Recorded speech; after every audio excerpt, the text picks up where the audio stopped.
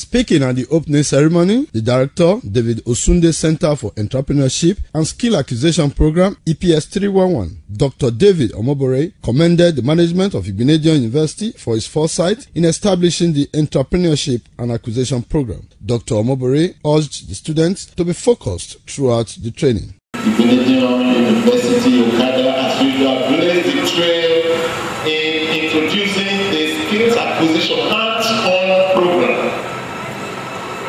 introduce entrepreneurship to our students.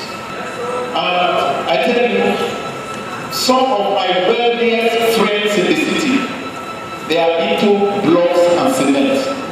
On his part, the Vice Chancellor, Igbinedion University, Okada, Professor Eghosa Osaghae, represented by the Dean Postgraduate Programs, Professor Tony Okorie, urged the students to take the training with seriousness. Professor Okorie pointed out that the cardinal objective of the Entrepreneurship and Skill Acquisition Program is to develop skills. To enjoin all of you to take this very serious.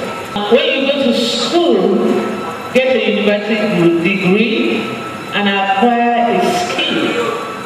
It doesn't happen to everybody. It's only privileged few and you are now coming to see how you can forge ahead so that you don't have to waste your time looking for jobs Some instructors and students expressed delight for being part of the entrepreneurship training at Igbinedion University, Okada. The Entrepreneurship and Skill Acquisition Program, EPS 311, is a compulsory course for 300 level students across the departments. My students has been learning how to, hey, to do pedicure, manicure, and the rest. Good thing about this life you have to realize. Either work for someone